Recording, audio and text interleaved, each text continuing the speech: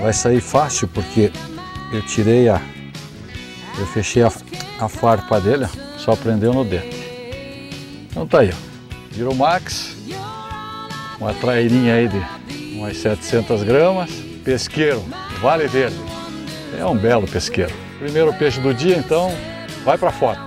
Tá aqui o bicho.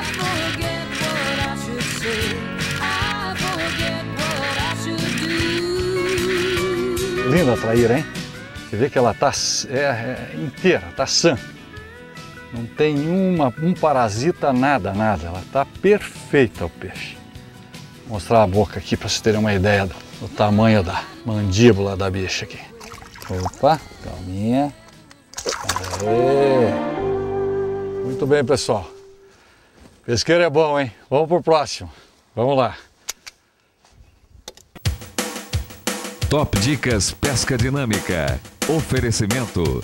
Pesca Dinâmica Cursos de Pesca. Esta é uma vara de fly que com certeza tem mais de 30 anos. Gente, isso aqui é um trabalho de matemática, engenharia e principalmente um trabalho de um baita no artesão. É uma vara que está usada, que eu ganhei de um aluno que fez o curso comigo. Não quis aceitar porque essa vara, algumas varas, não sei se é o caso dessa, chegam a valer mais de mil dólares. É, isso é uma arte milenar, né, Reinaldo? Então eu tenho certeza absoluta que você ganhou um belo presente. É uma vara que precisa de reparos. Eu não vou pescar com ela. Eu estou aqui na, na oficina do Prato, serviços especiais, trazendo para um técnico me recuperar essa vara. Com certeza vai ficar quase que nova. O que, que nós temos de defeito que você está vendo aqui que tem que modificar de imediato? Como você filmou ela agora, nós vamos filmar ela depois de pronta, porque eu vou ter que mexer nela total. Total. Total. Isso eu vou ter que desmanchar e montar novamente. Então nós estamos mostrando agora, daqui mais ou menos um mês, que é um trabalho lento, um trabalho de recuperação, né? Com certeza. Para deixar ela original. Está aqui o Prats, que é o nosso consultor no jornal é sobre manutenção de equipamentos náuticos e também equipamento de pesca, que reforma varas, molinetes, carretilhas da manutenção, manutenção em embarcações também, algumas peças, né? É só em peça. Eu trabalho bastante com hélice, hélice de inox, hélice de alumínio. Olha, pode estar quebrada, torta, eu faço balanceamento, polimento, o que precisar. E para embarcações fabrico também churrasqueira, guarda-mancebo, enfim, peças em aço inoxidável, é só trazer o desenho que a gente executa. Há mais ou menos trocentos anos atrás. Você não fala 25, 30 anos no atrás. No mínimo 25. É, nós já éramos amigos.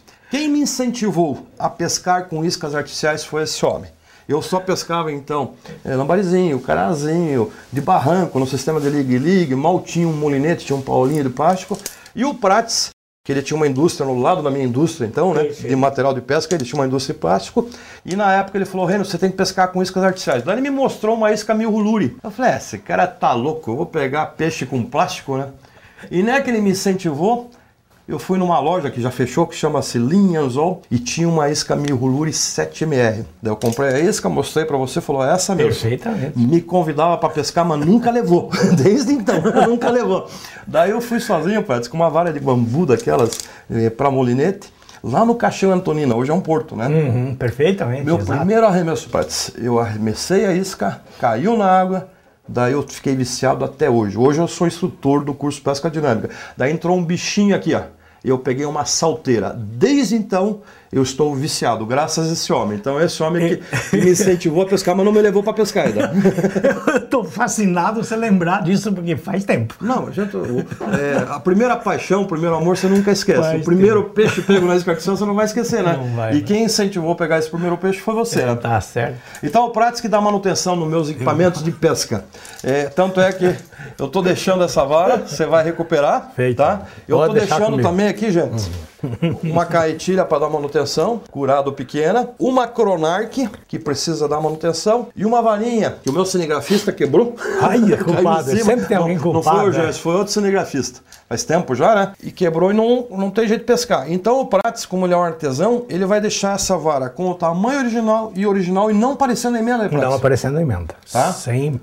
A emenda vai ficar original, vai ficar sem aparecer nada. Quanto tempo que eu pego essa vara pronta? Ah, essa pode ser a semana que vem. ó. Então, semana que vem nós vamos voltar aqui e vamos mostrar essa vara como é, era e como vai ficar. Isso, exatamente. Inclusive e, o, o cabo. Com a água salgada, a maresia, como você Perfeito, escreveu na, no jornal, né? Vai incrustando, vai ficando escura a cortiça e também vai criando fungos, né? Correto. E muitos pescadores não, não sabem limpar.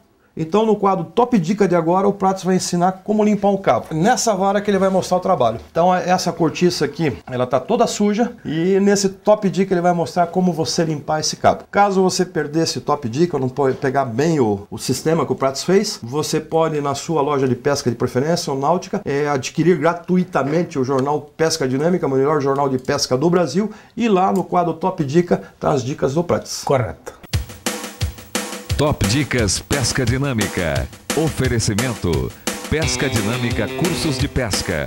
A primeira parte do nosso Top Dicas, como se limpa um cabo de cortiça. Primeiro, pincel na mão, água sanitária. Passa-se levemente com o pincel. Muito bem, deixamos secar agora por uns 4, 5 minutos no máximo. A nossa segunda etapa para deixar esse cabo bem branquinho. Olha, já está começando a branquear, mas não esqueçam de usar uma luva dessas tipo bem descartável, aquela que a, a patroa usa para pintar o cabelo, só para não ferir a mão com água sanitária. Aí nós pegamos a, a esponja, o lado verde, que é o lado mais abrasivo, molhamos na água sanitária e vamos fazer uma limpeza esfregando. Pode esfregar, pode apertar bem esfregado, ó. ela vai limpar completamente. Como o Reynolds precisa dessa vara para pescar, ele vai levar ela assim, com buraco. Mas na próxima etapa, nós vamos mostrar como preencher esses buracos e deixar ela original. Hoje é só limpeza. Na próxima, nós vamos ralar a rolha, lixar uma rolha e tampar esses buracos. Passo seguinte: debaixo da torneira, tiramos todo o excesso da água sanitária. E ele está completamente limpo. Limpo, não tem mais nada. A limpeza está feita. O Prato está me falando que essa vara precisaria mais um cuidadinho, mas como eu vou pescar com ela, não vou ter tempo, vou deixar na outra semana, né? Então, o que, que faltava né, fazendo essa vara, Pratos? O que faltava nesta vara aqui é deixar exatamente igual a essa. Este é um cabo recuperado, estava todo cheio de buraco e dá para você ver que ele ficou novo, perfeito. Ó. Então, essa técnica de tampar os buracos, você pode já ter orientação lendo o melhor jornal de pesca do Brasil, o Pesca Dinâmica, essa última edição aí. E qualquer coisa, se você não quiser fazer, não tem habilidade, é só vir aqui no Prates. Telefone Prates. 3329-8831. Manutenção em varas, carretilhas, Isso. molinetes e alguns acessórios para a náutica, fale com o Prates. Este é meu amigo e eu recomendo. Muito obrigado, Rei. Fisga bem, Dela. Fisga bem. Cai com o na boca. Esse é o dourado. Olha o dourado, vai pular. Ai, que coisa linda. E tá aqui o bicho.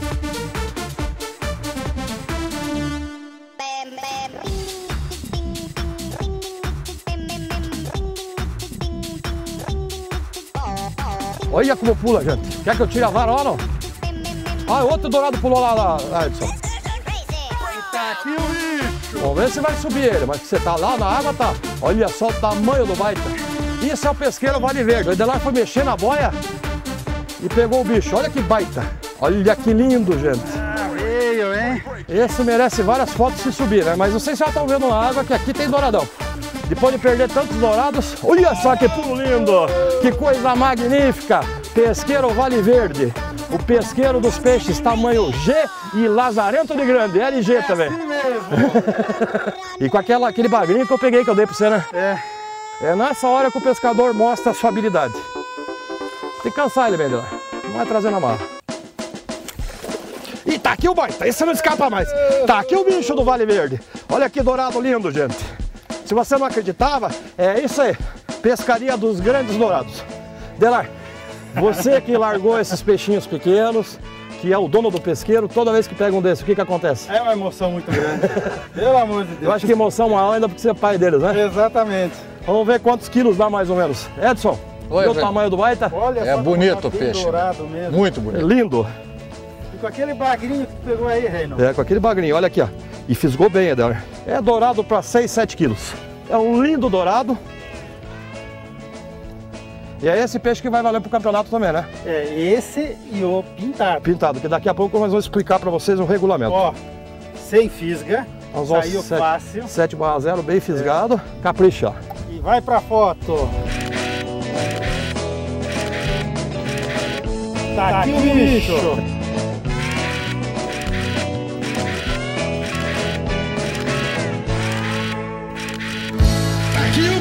Não, esse é o dourado. Esse é o, é o, o tigre da água doce. É o tigre que eles chamam, né? É o tigre. É o tigre da água doce. Infelizmente, no Mato Grosso é difícil você pegar um peixe desse tamanho. Talvez na Argentina ou Iolas, você tem duas opções para pescar, três opções para pescar esse peixe. Ir no Paraguai, na Argentina ou vir aqui no Vale Verde. né? Aí, gente. então tá aqui, gente. Vamos mostrar a bocarra para vocês. Eu vou tirar uma foto. Ó, Olha aqui, ó. Olha o tamanho da boca do baita. Eu quero ver se eu pego um desse aqui ainda. Olha aqui, monstro. E você vê, ó, nós vimos o dourado pular lá, o Edson arremessou a isca artificial em cima, não quis pegar. O Edelar de imediato começou a recolher, pegou na recolhida. E vai pra vida. Parabéns pelo peixe. Para- obrigado. Parabéns aí pela tua habilidade que você mostrou que fez jus ao certificado que você ganhou do curso, né? Tá lá- Deixa eu fazer tá uma lá no- propaganda. Tá, lá no, tá lá. no restaurante. E parabéns por esse pesqueiro maravilhoso e magnífico.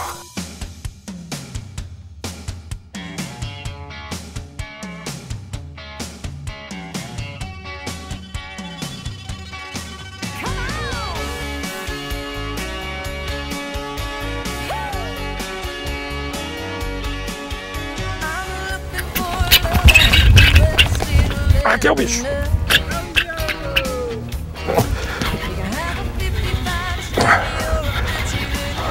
Ah, não acredito, escapou de novo, gente. Mas hoje eu tô pro crime, hein? E olha que eu fiz gay, você viu? Tá fisgado. Hoje eu tô pro crime, gente. Era era um dourado. Era o dourado pela puxada. Que coisa! Chegou a queimar o dedo aqui, ó, a tremedeira que dá, gente. Nossa. E era um dourado grande demais, hein? Let's go.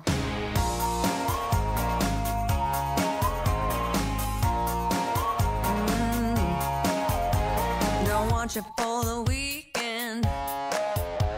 Don't want you for a night.